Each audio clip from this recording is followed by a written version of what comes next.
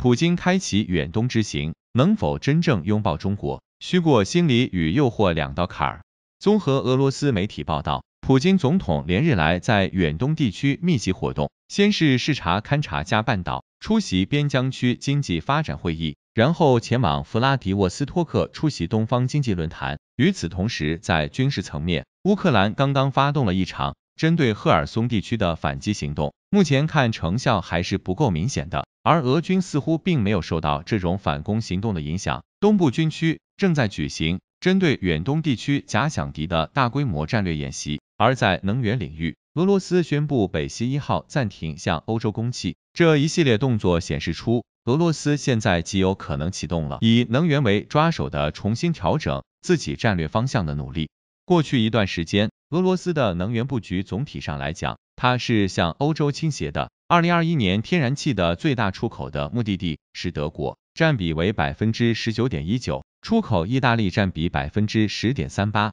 出口法国占比百分之七，出口波兰占比百分之四点一八。不算白俄罗斯和土耳其这几个国家，实际上出口到欧洲发达国家的占比已经高达百分之六十三点二一了。这些国家总体而言，不仅对俄罗斯是保持戒心的，而且事实上是在美国的势力范围之内。这就意味着俄罗斯的能源出口极不安全。而俄罗斯这种明知山有虎的做法，它其实是有一个长期心理认知的，就是认为自己无论是在文化圈、宗教圈还是种族圈，都是属于欧洲俱乐部的。那么自冷战结束之后，西方国家一系列的组合拳打下来。打的俄罗斯终于开始认识到自己总不被西方所接纳，而西方这些表亲和远亲也确实不怎么好打交道。现在能不能顺利的转向东方，转向中国？实际上这个过程对于俄罗斯来说，心理冲击其实是挺大的。何去何从是一个艰难的斗争过程，中俄之间互补性极强，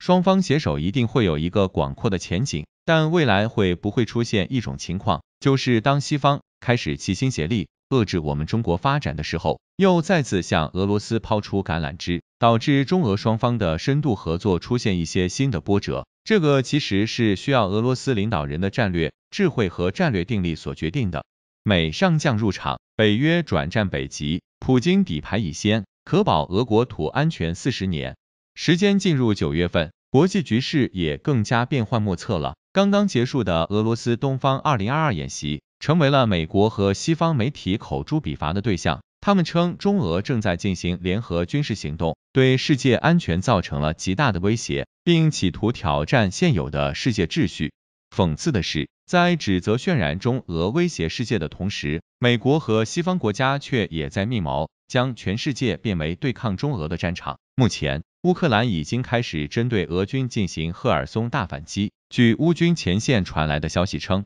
在乌军三处战线的猛烈攻势下，一天之内，俄军的第一道防线就被攻破了。虽然对于此消息的真实度外界存在怀疑，但可以肯定的是，在半个月多的阵地偷袭后，乌克兰吹响了新一轮的反攻号角。同时，欧洲开始继续对乌克兰进行军事援助。美国计划派一名二星或三星上将赶赴前线战场，担任战争总指挥。这些都预示着我们一直以来期待的停战与和平再次渐行渐远。就像德国外交部长贝尔伯克所说，在欧洲这片土地上，俄乌的战火还将持续数年，并且欧洲并不会成为个例。美国在继续拱火俄乌冲突的同时，也与北约同时展开行动，将目光放在了北极这片净土上。美国总统拜登即将任命一名北极大使，以此来提升美国在北极的影响力。北约秘书长也首次访问了北极地区，在北美防空司令部说出了中俄威胁的言论，所以北极即将成为美国和北约对抗中俄的新战场。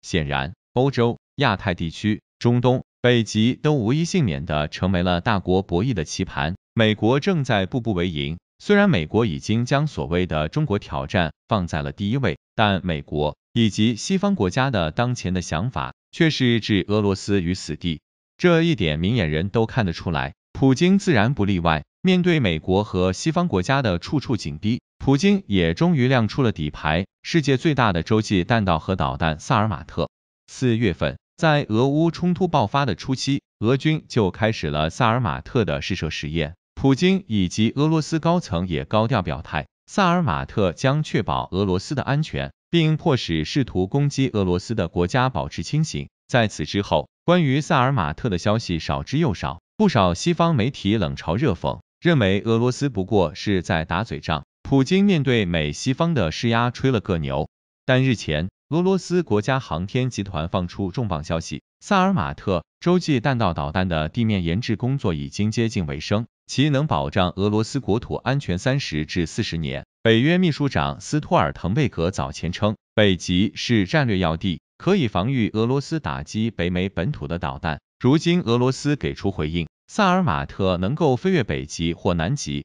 突破任何反导系统，对敌方目标实施精准打击。可以说，普京将拳头才是硬道理，这句话体现的淋漓尽致。美国想置俄罗斯于死地，那普京就拿出最好的回应手段；北约想在北极遏制俄罗斯的打击能力，那普京就大方的告诉北约。俄罗斯有胆量，也有能力突破任何防御系统，重拳出击才是保卫国土的最好方式。普京很清楚，只有绝对的实力才能让美国听懂，才能让北约看清现实。印度空军元帅组建七个五代机中队，准备好同中国空军两线作战。几天前，德国著名军事专家鲁伯特曾在社交媒体上表示，从最新的资料来看。中国空军目前装备的歼二十战斗机数量已突破六个旅。如果这一推测无误的话，按照我军每个航空旅三十六架战斗机的配置，那么现阶段我军服役的歼二十战斗机数量应该几经突破二百架大关。而另一方面，欧亚时报发表了一篇题为《一百一十四架多用途战斗机 LAK A 光辉战机 MK 五代机 S 四零零导弹》，印度空军司令。概述了应对与中国可能发生冲突的计划的文章。文章中，印度空军参谋长、空军元帅乔杜里不仅公开叫板中国空军，还提出了要组建七个 M 卡隐身战斗机中队来对抗中国。印度空军参谋长声称，当前战争形势正在发生变化，混合式战争时代已经来临，因此未来印度空军要做好与中国在印度东部、北部这两条战线上作战的准备。与此同时，为了赢得两线作战的胜利，他还提出了印度空军发展的未来计划。该计划提到，印度空军未来的发展目标是建立六个 LCA MiG 幺 A 光辉战斗机中队，六个 LCA MiG 二 A 升级版光辉战斗机中队，七个中队的 MK 五代机中队，以及五个 S 四零零地空导弹团。与此同时，印度空军还将借助于国际军贸市场，加紧采购一百一十四架国外多用途战斗机。同时，对苏 30MKI 战斗机、米富十七和米富八直升机进行现代化升级。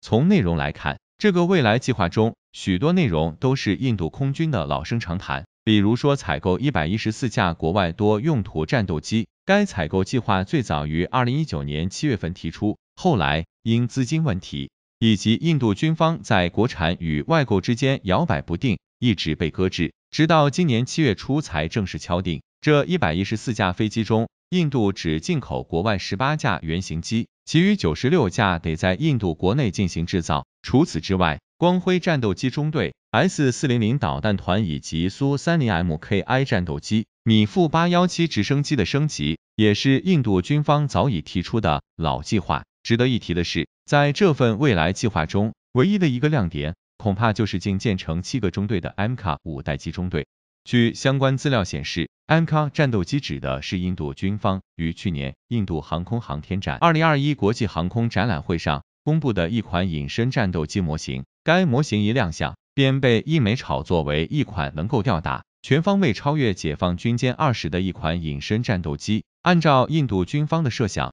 新型安卡隐身战斗机是一款总重约为二十吨的单座双发隐身战斗机。该机机身长度十七点六米。翼展十一点一三米，作战半径为一千六百二十公里。该机机翼下方和机腹之内共设有十四个挂点，最大载弹量约为六点五吨。在动力选择和航电设备技术方面，该战斗机将采用美国通用动力公司的 F 四幺四矢量航空发动机，以及印度国产或外购的 AESA 雷达系统、数据联系统、红外搜索和跟踪系统、光电瞄准系统、电子对抗套件等等。而在关键的隐身技术领域，由于印度国内隐身材料和涂料技术存在短板，AMCA 战斗机的隐身设计着重于通过飞机的外形改动来实现对雷达波的偏离和散射，这与俄罗斯苏五十七战斗机发展的思路十分相似。按照印度斯坦航空公司的说法，AMCA 战斗机原型机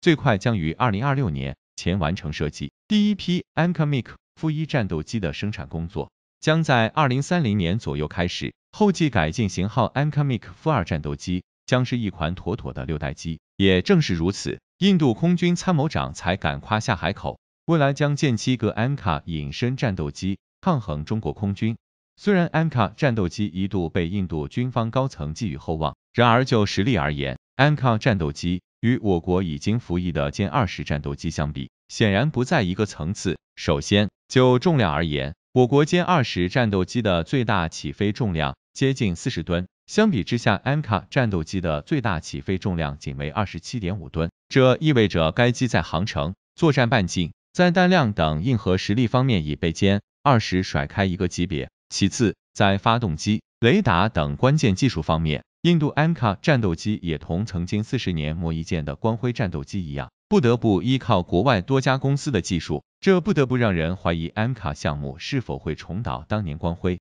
项目的覆辙。在这样的情况之下安卡战斗机未来能否顺利服役，恐怕还是个大问题。最后，也就是印度空军参谋长提到的，要建立七个安卡战斗机中队的问题。根据印度空军一个中队十八架战斗机的配置，未来印度斯坦公司至少得生产一百二十六架 M 卡战斗机。才能满足印度空军的需求。按照该公司在扩大生产线产能之后，平均一个月交付一架光辉战斗机的速度，如果不出意外的话，即便该公司在二零三零年开始量产 M 卡战斗机，最快也要到二零四零年之后才能凑齐这一百二十六架隐身战斗机。相比之下，我国歼二十战斗机自二零一七年服役以来，成飞四条生产线便加足马力。开启了全速生产模式。虽然官方没有公布目前歼二十战斗机的具体数量，但不少外媒和专家却猜测，目前我军歼二十的数量已经超过了二百架。结合着歼二十副总设计师只要空军有需要，航空工业能空军满足任何需求的说法来看，外媒和国外专家的猜测并非没有依据。